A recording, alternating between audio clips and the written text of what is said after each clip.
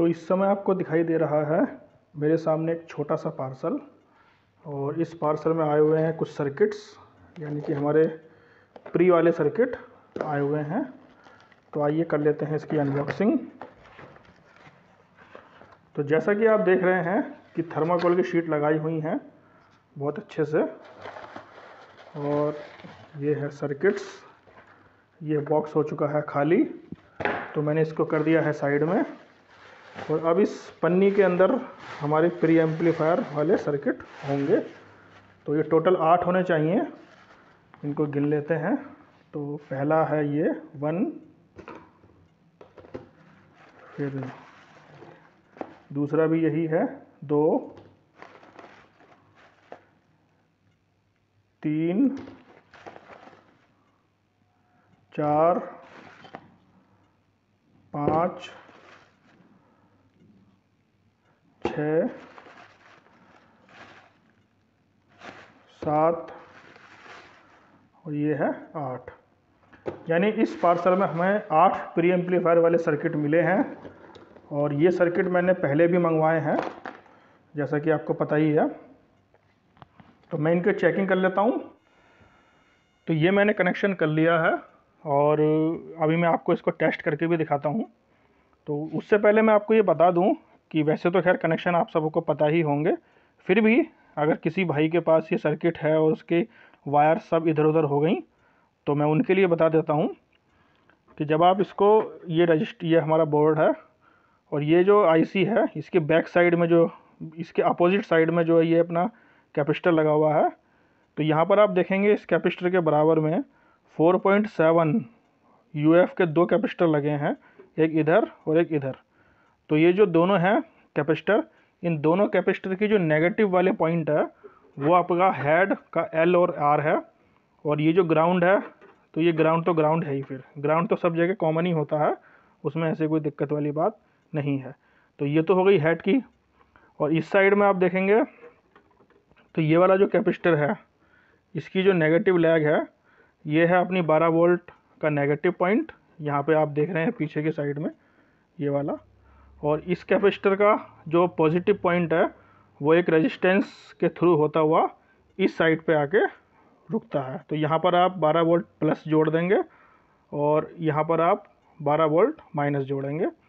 और जहाँ तक बात रही आउटपुट की तो आउटपुट के लिए भी जैसे कैपेसिटर इस साइड लगे हैं 4.7 यूएफ के, वैसे ही इधर भी लगे होंगे। और इन दोनों कैपेसिटर की जो नेगेटिव लैग है माइनस वाला पॉइंट वही आपका आउटपुट भी हो जाता है। ठीक है? तो इतना कोई ज़्यादा कनेक्शन दिक्कत वाली बात नहीं है कनेक्शन करने में। और आप देख रहे होंगे कि मैंने यहाँ पर रेजिस्टेंस की पोजीशन चेंज कर दी है। यानी कि पहले ये जो सर्किट में प्रॉब्लम थी, वो मैंने पूरी तरह से ठीक कर दी है। और आइए अब इसको टेस्ट करके देख लेते हैं। ये हमारा है मैकेनिज़्म जुगाड़ वाला। और ये मोटर लगी हुई है। इसकी बेल्ट कहीं खो गई थी तो मैंने इसमें रबड़ बैंड लगा रखा है। बस रबड़ बैंड भी लगा सकते हैं आप। बस ये है कि रबड़ बैंड बहुत जल्दी गल जाता है और दूसरी बात, फिर रबर बैंड का जो साइज़ होता है, वो यूनिफॉर्म साइज़ नहीं होता। मतलब कहीं पर पतला होगा तो कहीं मोटा होगा, जिसकी वजह से आवाज़ इसकी लहरा जाती है। तो अगर आपको रबर बैंड बढ़िया वाला मिल जाए, एकदम परफेक्ट पोजीशन वाला तो आप यूज़ कर सकते हैं। ये मैकेनिकल हो गया, ये हमारा प्री हो ही गया। और प्री का जो आउटपुट है, वो ये हैं दो वायर एक एल और एक आर तो ये एम्पलीफायर है और इसमें यहाँ पर एक स्पीकर ही लगा हुआ है तो जिसकी वजह से मैंने एक ही वायर कनेक्ट की हुई है। ठीक है तो पहले मैं आपको एक चैनल की साउंड क्वालिटी सुनवाऊँगा फिर दूसरे चैनल की साउंड सुनवाऊँगा। अगर उससे पहले जब सर्किट में प्रॉब्लम थी तो एक चैनल में साउंड थोड़ी ज़्यादा आया करती थी एक में साउंड थोड़ी कम आती थी। लेकिन जब से ये रेजिस्टेंस की पोजीशन चेंज की गई है तो उसके बाद से फिर दोनों ही चैनल में साउंड एकदम अच्छे से आती है और बराबर आती है, एकदम बढ़िया। तो आइए इसको टेस्ट कर लेते हैं। ये हमने सप्लाई कर दी ऑन और आप देखेंगे कि ये हमारा एम्पलीफायर है। ठीक है? तो अब चलाते हैं इसको।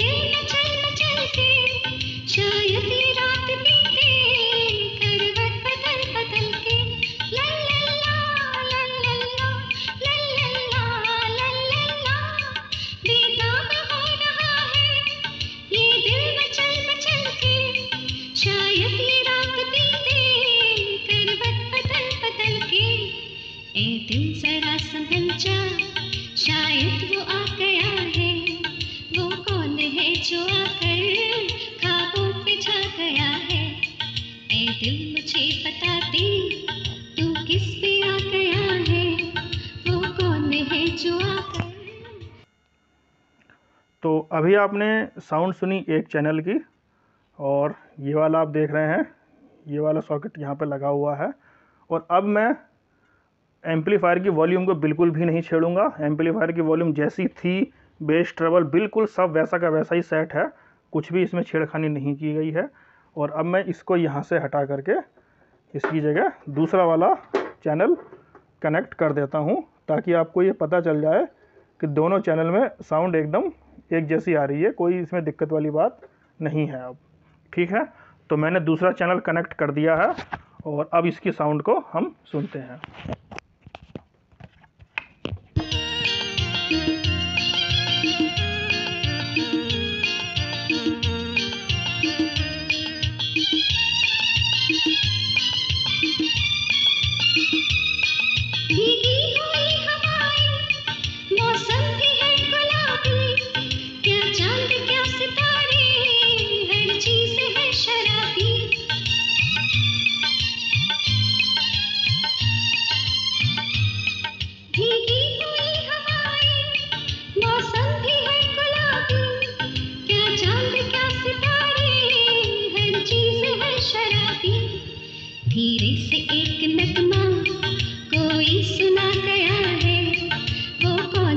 मुझे